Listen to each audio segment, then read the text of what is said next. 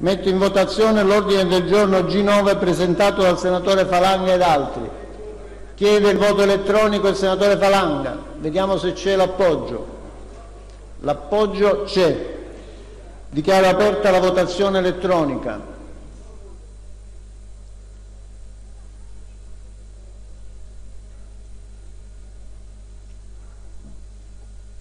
Dichiaro chiusa la votazione elettronica.